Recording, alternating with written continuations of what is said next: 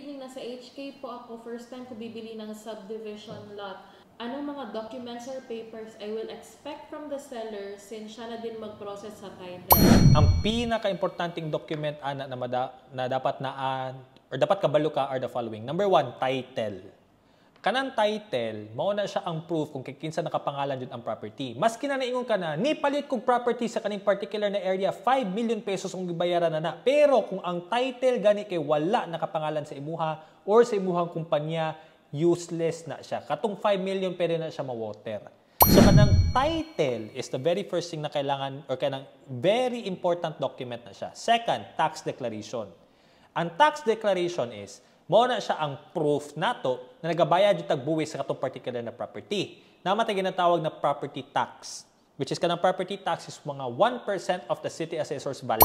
So every year, nag-assess na sila sa kaning particular property. Kung pila value na, you get the 1% mo na bayaran mo sa property tax. Kailangan na siya nimo na document para dili ka ma-foul or ma-red flag sa BAR na, oh, naalagi kay property, wala man imong gibayaran ang tax. What if you are purchasing a kaning mga pre-selling? Subdivision lot ba? In your case, subdivision lot or kaning mga condos. Dapat na kay ginatawag na contract to sell, CTS. That is proof na naay kontrata between the buyer and the seller na gibaligya jud ning particular na unit pag kaning particular na lot sa kaning person. In that person is you.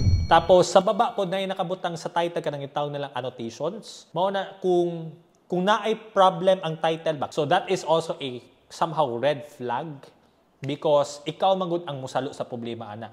And kabalo naman ta when it comes to documentations and processing dire sa Pilipinas or even sa gawas, medyo kutibi ang proseso. Kung naa gani mga problems when it comes to the title, nya plano nimo i-bank finance, grabe na siya kalisod. Because the bank financing or the bank itself They also want to be assured na kaning title is klaro. Mo na yung ginatawag na clean title. Walay problema ang title. So kung paliton nimo siya from the sub, uh, from the developer or from the seller, klaro na pagbalhin sa imuha, walay problema.